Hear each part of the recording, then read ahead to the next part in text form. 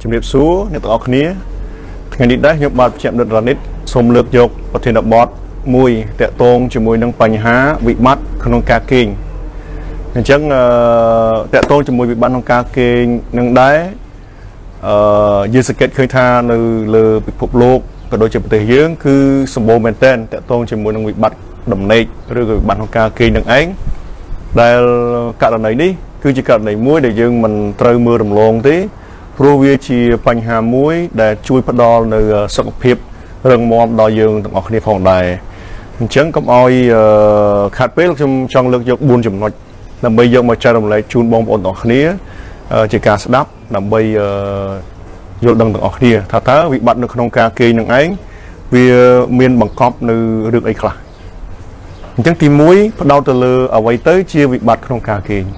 វិបត្តិក្នុងការគេងខ្ញុំចង់ទាញបងប្អូនឲ្យដឹងថាអឺជាទូទៅដោយសារតែគាត់មានវិបត្តិក្នុងការពិសេសនៅពេលដែលគាត់សម្រាកពេលដែលគាត់សម្រាកយើងសង្កេតឃើញថាគាត់អាចនឹងគេងអត់លក់ហើយក្នុងការគេងអត់លក់របស់គាត់នឹងដែរគឺធ្វើឲ្យគាត់នឹងប្រឈមមុខជាមួយនឹងបញ្ហាផ្សេងផ្សេង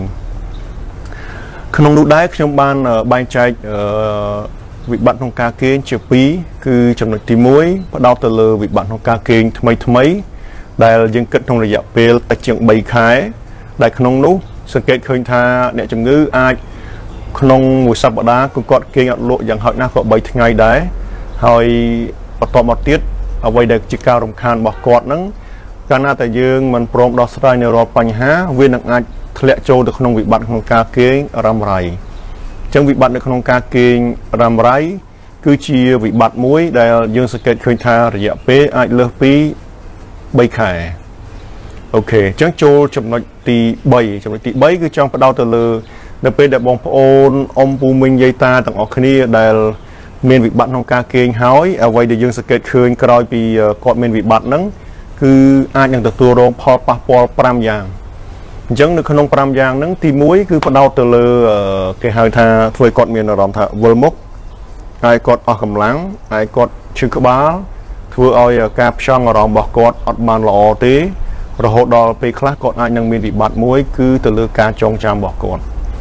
នឹងហើយគឺជាផលវិបាកដែលយើងសង្កេតឃើញក្រោយពេលដែលមានវិបត្តិក្នុងការគេងលក្ខណៈយូរអង្វែង អូខេអញ្ចឹងចំណុចទី4ចំណុចទី4គឺជាចំណុចមួយដែលពិសេសដែរដែលយើងត្រូវដឹងមូលហេតុថាតើវិបត្តិក្នុងការគេងគឺសង្កេតឃើញដោយសារតែមានកត្តាអ្វីខ្លះចូលរួមអញ្ចឹងនៅក្នុងកត្តាទាំងអស់នោះមានដូចជាទី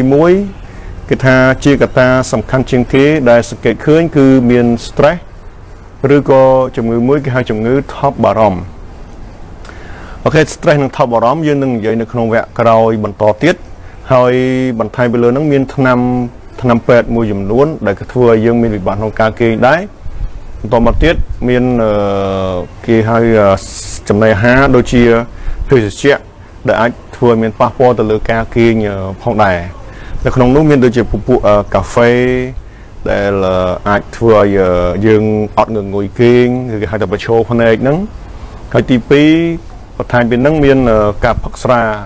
ដែលបងប្អូនជាទូទៅថាងបើផឹកឲ្យតែស្វឹងទៅគឺដេកបានស្រួលទេ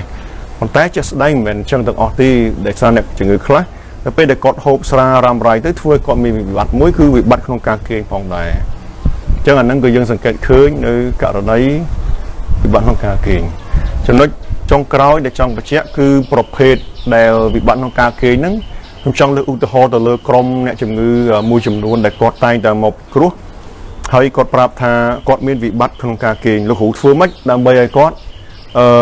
គេងបានលក់ស្រួលអញ្ចឹងអ្វីដែលសំខាន់គឺយើងត្រូវដោះស្រាយនៅរាល់មូលហេតុទាំងឡាយដែលយើងបានរៀបរាប់ខាងលើមិញហ្នឹង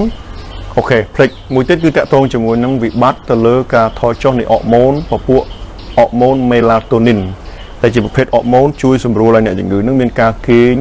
នៅកាលណាដែលអរម៉ូននឹងថយចុះធ្វើឲ្យយើងលែងងងុយគេងអូខេ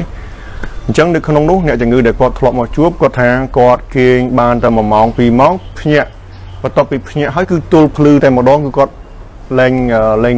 លែងគេងលក់ទៀតហើយហើយចំណុចមួយទៀតគឺអ្នកជំងឺថាគេងភ្ញាក់គេងភ្ញាក់បានន័យថាគាត់គេងលក់លក់ហើយភ្ញាក់អាហ្នឹងក៏ជាវិបត្តិក្នុងការគេងដែរអ្នកជំងឺខ្លះទៀតគឺគាត់គេងអត់លក់សោះតែម្ដងគឺចាប់តែពីពេលដែលគាត់ត្រៀមថាគាត់ចូលគេងរហូតដល់ផ្ទល់ភ្លឺណាផ្ទល់ភ្លឺអ្នកខ្លះទៀតគឺវិបត្តិក្នុងការគេងរបស់គាត់គឺយប់គេងអត់លក់ទេគាត់គេងលក់ទៅពេលព្រឹកឬក៏អីចឹងទៅ តែជាបញ្ហាមួយធ្វើឲ្យគាត់មានការរំខានខ្លាំងអញ្ចឹងបើសិនជាបងប្អូនមានវិបត្តិក្នុងការគេងគឺបងប្អូនអាចរកដំណោះស្រាយតាមរយៈដោះស្រាយនៅរាល់មូលហេតុទាំងឡាយដែលយើងកំពុងតែជួបបូកជាមួយនឹងការហាត់ប្រាណការហូបចុកឲ្យបានត្រឹមត្រូវជាមួយនឹងលទ្ធផលចុងក្រោយបើសិនជានៅតែមិនបានទៀតយើងនឹងត្រូវមានការប្រើប្រាស់ថ្នាំអូខេអញ្ចឹងសម្រាប់វីដេអូមួយនេះគឺសូមចែករំលែកជូនបងប្អូនប៉ុណ្ណេះហើយ បងប្អូនជួយចែករំលែកតដើម្បីឲ្យបងប្អូនសាច់ញាតិរបស់យើងបានទទួលស្ដាប់ដូចគ្នាអរគុណច្រើន